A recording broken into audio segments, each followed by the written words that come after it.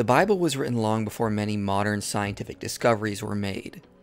Because of this, the authors probably didn't know basic facts about the universe that we know today, and there are strong implications they had a flawed outlook on the cosmos and how biological processes worked.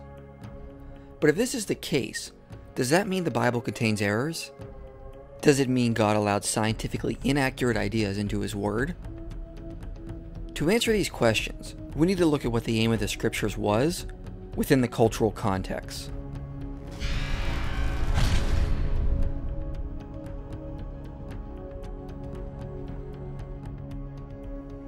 Let's begin with an analogy. Imagine we have invented a highly powerful time traveling machine that not only allows us to travel through time, but also see alternative timelines. Now imagine we realize that if we go back to the past and prevent the Hyksos of Egypt from losing to the 17th dynasty of Egypt, a series of chain reactions will be set off, making the world a much better place today. So we travel back to the past and go to the Hyksos pharaoh and say, Your Majesty, as the sun rises tomorrow, your kingdom will fall if you do not do as we say. If you love your people with all your heart, you must trust your gut feeling that we are telling you the truth. Now look at this statement and ask yourself Did I lie to the Pharaoh? It may seem like an odd question, but I told him the sun will rise, when in fact the sun doesn't move.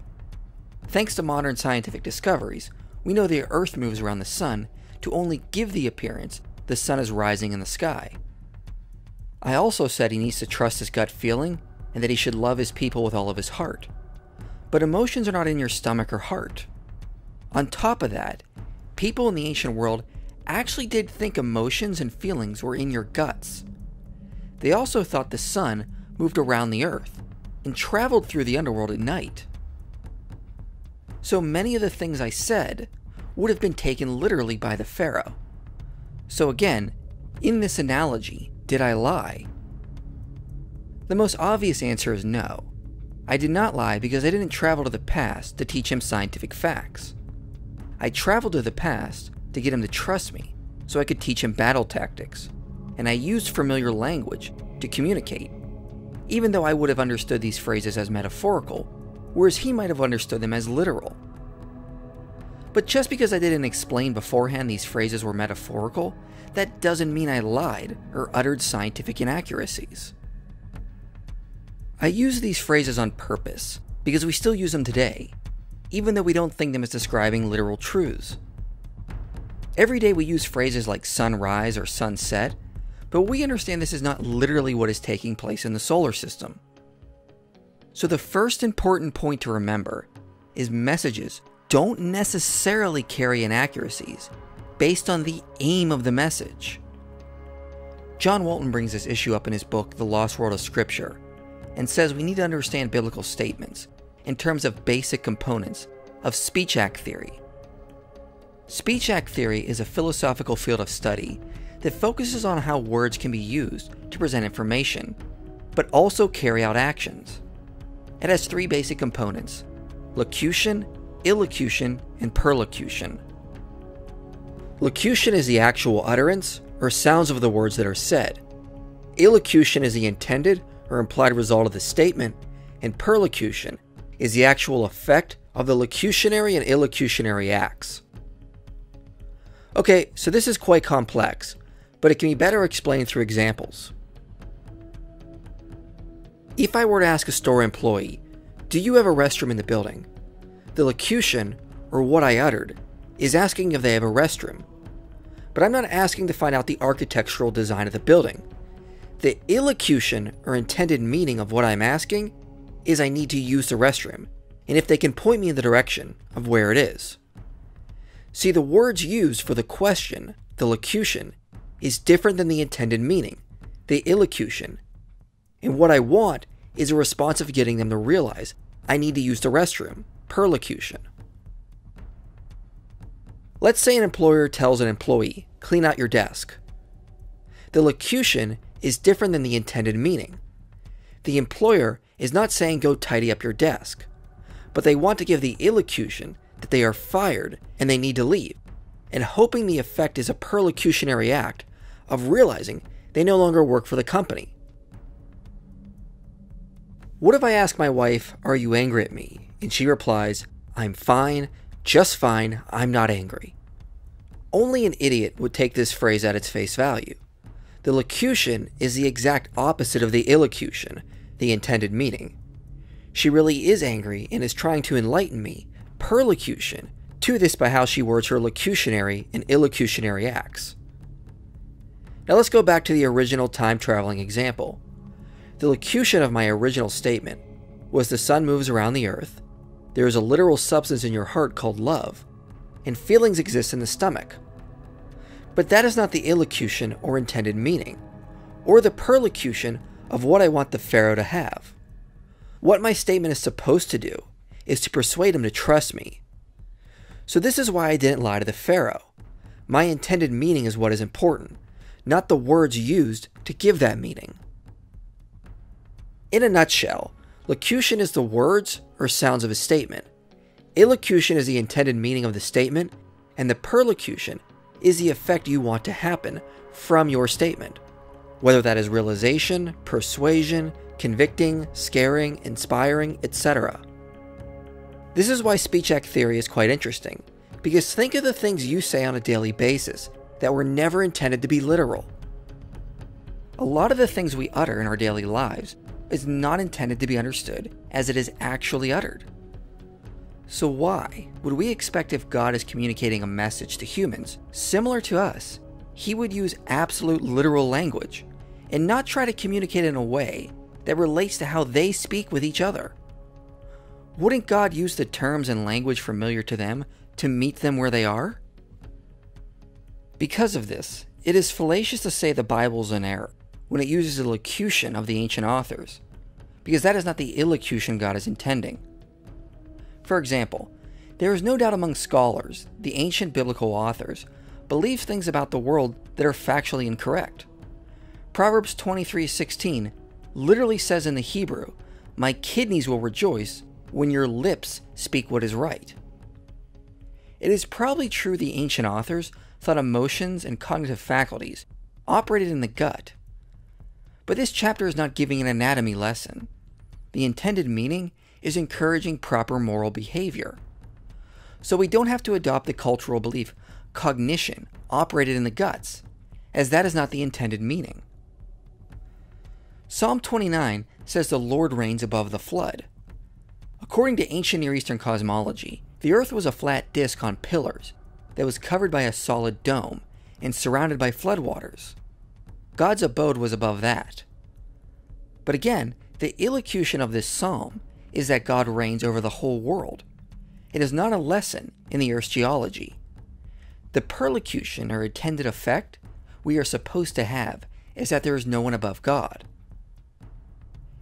Genesis 8 recounts the end of the flood, and verse 2 says, The fountains of the deep and the windows of the heavens were closed.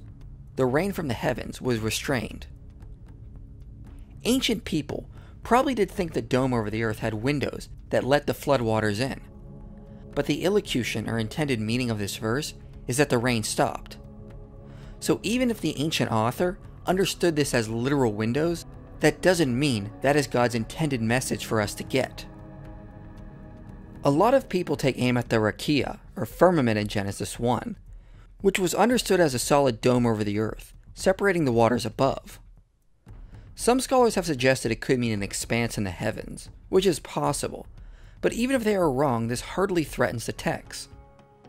As we've argued extensively in our Genesis series, the aim of Genesis 1 is God is inaugurating the cosmos as his temple and giving proper functions to its aspects. D.J.A. Clines and J. Richard Middleton note the existence of the firmament is in relation to its purpose, as that is the overall aim of Genesis 1. The prior paragraph of God creating light even has parallels to Jeremiah 4, where a lack of light is used metaphorically to refer to a kingdom that no longer functions properly. So the illocution of this passage is not to understand the physical structure of the cosmos, but to understand God has dominion over the whole earth, including the sky above. This is only explained in terms of the locution of the ancient audience, because that is who the passage was written to. I bring up all these examples to note the obvious. The Bible is not a scientific textbook and was never intended to be. The aim or intended meaning of the authors was to state theological truths, and they could only do this with their own terminology or locution. But because their aim was never to teach scientific facts, it is not fair to say they lied or stated something false. Just like when you say the sun will rise tomorrow, it would be uncharitable and ridiculous for someone to call you a flat earther. And likewise, it is just as ridiculous to assume this means God was advocating scientific inaccuracies, because he was working through ancient authors. Our aim should be the illocution or intended meaning, not nitpick at the terminology used to give that meaning. To quote John Walton, even though people in Israel believe there were waters above the earth held back by a solid sky, or that cognitive processes took place in the heart or kidneys, the illocution of the text is not affirming those beliefs as revealed truth. Culture specific aspects of an illocution do not have a universal perlocution, eating pork, circumcision, head covering. Culture specific aspects of the perlocution need to be translated to an appropriate contemporary perlocution. So, for example, it is no surprise that ancient Israel believed in a solid sky, and God accommodated his locution to that model in his communication to them. But since the illocution is not to assert the true shape of cosmic geography, we can safely set those details aside as incidental without jeopardizing authority or inerrancy. God implies in Scripture he meets people where they are and tries to bring them to a better place, instead of expecting people to be perfect the moment he meets them. In Matthew 19, Jesus states the law of divorce in the Mosaic Law was given because their hearts were hard. The strong implication is the Mosaic Law was not ideal or the final law for humanity, but a compromise. Because humanity, at that time, was not ready for marriage laws that God really desires. Anyone who raises a toddler can relate. Your ideal setting may be that your kids go to bed on time and always eat their dinner, but you understand mentally they are just not ready for those standards. So compromises are formed to try to work with your kids to help them mature. Likewise, if God understands the ancient Israelites were not ready for a perfect law and gave them the Mosaic law as a compromise, we should also be able to understand God can work through the language and cosmological views of early humans without having to give them 21st century brains. God doesn't say to himself first, boy, you know, you know, I'd, I'd really like to tell them about how I made everything. But how do I do that? I mean, I, have got to, I've got to change the way they think. I've got to give them more information so that when I really give them the scientific details, they'll understand it. And not only that, but I have another problem you know, God says to himself in this imaginary conversation, even if I take the writer and make him super normal, superhuman, that I advance his brain, when I fill his brain with all this post Darwinistic, because I know this guy Darwin's coming along. If I fill his brain with that and enable him to write in such a way that it will encompass and critique Darwin before Darwin's ever born, how is what he's writing going to be at all coherent to the people who read it, the people that I haven't advanced their brain. Now, at this point, some skeptics might object that it wouldn't have been hard for God to tell people scientific truths through revelation. But I think the main problem is skeptics assume such a message would have gotten through or translated properly. Remember that Jesus said God couldn't even teach them proper ethics because their hearts were hard, and the Pentateuch describes the Israelites as stiff necked. I don't know if you've ever tried to describe a scientific theory to someone who didn't care, but their eyes gloss over real quickly. God had a hard enough time trying to get Israel to trust him, even after he delivered them from Egypt. He presented a collection of laws that was supposed to be a compromise, and they couldn't even properly keep that. The obvious point to bring home is humanity was not ready for this level of knowledge and probably was not even open to it. Ancient people didn't necessarily care about the same things you care about. The ancient Israelites' focus was on staying alive from constant threats, such as war and famine. If God informed them of modern scientific facts, it is hard to imagine anyone would have cared in that state of an environment, or would have found it relatable. They preserved what was important to them, not what was important to 21st century Westerners. Also, scientific advances have inadvertently led to technological advances that have been used for evil purposes. I don't think we're really thinking this one through. If humanity was not ready for a perfect moral law from God, I think he did the right thing in not trusting them with advanced scientific knowledge. The last thing we would have wanted to see would have been atomic theory or combustion engines in the hands of Nero or Vlad the Impaler. So the truth is, humanity was simply not ready for this level of knowledge, and God worked through humanity where they were intellectually and ethically to bring them to a better place, so we could make these necessary scientific advances. Thus, for modern readers, we need not worry about reading biblical texts and looking for scientific truths. We ought to read the texts with their mindset in view and focus on the intended meaning or illocution. And we need not worry if their locution affects the accuracy of Scripture. Their aim was never to teach cosmology or biology, but to teach theology and the theological implications of historical events. By what terminology they used is beside the point, as that is confusing locution for illocution.